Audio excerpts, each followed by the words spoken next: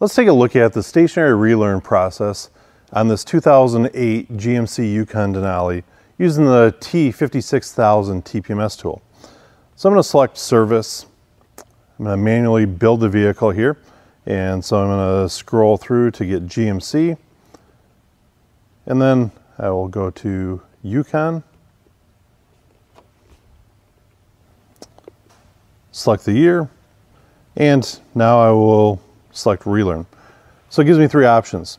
With keyless entry, with the, uh, the DIC or the data indicator uh, light on the, on the dash, or using the odometer reset. So I'm gonna use the keyless entry option here. So I'm gonna select OK. Now it gives me instructions to inflate all tires, turn the ignition to the on position, push and hold the lock and unlock buttons on the key fob until the horn honks. So hold them down here. There, we've got the double horn chirp telling me that we're ready to learn the left front sensor.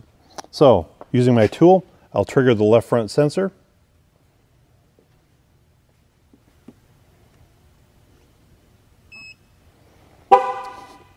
And now I will continue on to the right front. Now in many of these General Motors vehicles, you can tell either by the marker lights on the front of the vehicle or on the mirrors here. And of course, when we hear the horn honk, lets us know that the vehicle has accepted the communications.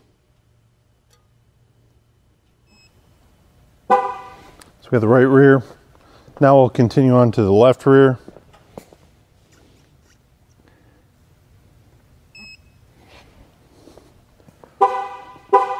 And there, we've got the double horn chirp indicating that the job is complete.